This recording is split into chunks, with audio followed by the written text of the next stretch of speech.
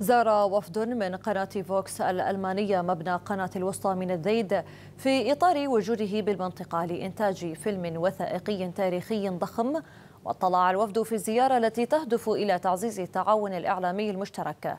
اطلع على مرافق القناة وطبيعة إنتاجها.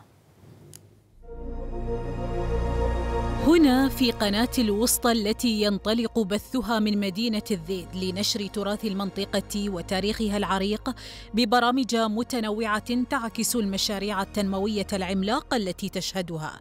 كانت محطة حرص وفد من قناة فوكس الألمانية لزيارتها بمرافقة حميد عبيد الزعابي أحد أبرز المزارعين في المنطقة الوسطى وذلك لبحث أوجه التعاون بين الجانبين بهدف إنتاج محتوى تلفزيوني مشترك.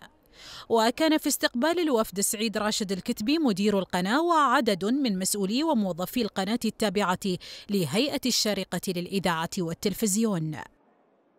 وتأتي الزيارة في وقت يستعد فيه فريق قناة فوكس الألمانية لإنتاج فيلم وثائقي حول دولة الإمارات العربية المتحدة ويعرج إلى النهضة الشاملة التي شهدتها الدولة بعد قيام الاتحاد قبل خمسين عاما وانطلقت منه إلى آفاق أرحب من التقدم والازدهار لبناء الدولة النهضوية الجديدة.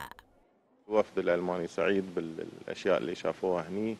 التلفزيون الألماني جاي على أساس آه، يقدم صورة عن الإمارات بكل نواحيها من حضارة ومن آه، مدن وتحضر والأشياء اللي موجودة هنا نحن معجبون جدا بالتقنيات المتوفرة في قناة الوسطى وكان من الرائع أن نقوم بهذه الزيارة ونحن نسعى لإنتاج فيلم يوثق نهضة دولة الإمارات وتزامن ذلك مع مرور خمسين عاما.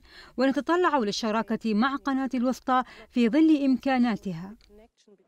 الوفد الألماني تجول في مختلف أقسام وإدارات واستديوهات مبنى قناة الوسطى من الذيد التي تضم أحدث التجهيزات والتقنيات في مجال المحطات التلفزيونية على مستوى الشرق الأوسط كما اطلعوا على ما يحويه المبنى من خدمات لوجستية متميزة للعاملين والضيوف والزوار.